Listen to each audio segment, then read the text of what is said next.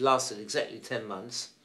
And then not only that studio, but a lot of other studios closed down. There was one of the perennial crises in the film industry, which I think there's been more crises in the film industry than non-crisis is the exception. Crisis is the, is the normal condition of the British film industry in my experience. But anyway, it was very nice uh, being able to get a start. And at that time, I was, oh, I had a, I had a, um, I had an opportunity earlier once, but I was going to evening, uh, I was going to evening classes, uh, studying for a BSc basically, because my father was my father was fairly uh, insistent that I get a good what he called a good education, a good basis, and I realized quite early on that that uh, a formal education in either arts or sciences uh, doesn't really uh, help you in the film industry. In fact, they're they're opposed to it in some ways. And so when I told this, uh, I can't remember where that was, but I, I had an opportunity where they were going to take me on as clapper boy.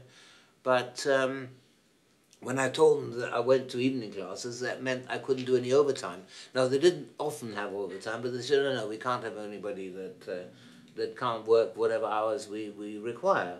Not that they worked very, very, very long hours in those days. The hours were quite reasonable and the unions were very strong and they, they controlled all that fairly tightly. But they wouldn't take on anybody that couldn't, if, if need be, couldn't continue into overtime. So that failed, but eventually I did, I did get in.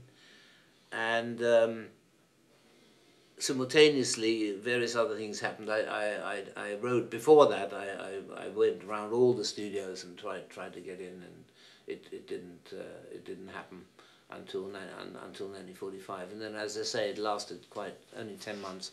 But I did get a chance to work with some interesting people including Otto Heller who became quite a good friend. He was a Czech cameraman working in England at the time. And uh, he sort of pat me on the head and said, all right my boy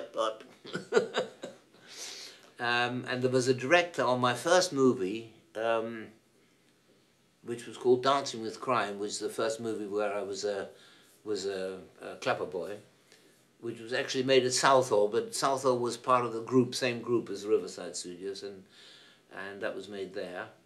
Um, and the director of that film was a, a guy called John Paddy Carstairs, and he was very good to me um, because most of the most of the technicians, um, like in the production department and so on, they were they didn't want me to be interested in becoming a cameraman. And they, they said, you just clap those two pieces of wood together and don't you worry about anything else except be first in the TQ. That was the most important thing because the, the clapper board had a, a secondary function upside down. It was also the tea tray. And uh, once I nearly caused a, a major incident because I was, I was chatting to the electrician who was in charge of turning on the red and green lights and, and ringing the bell when the director called for, the assistant director called for rehearsal. Uh, this chap switched on a green light and uh, which showed outside the stage and rang a bell. And that was his only job. So he was sitting there all day near the door. He had a little pedestal next to him which had three switches on it.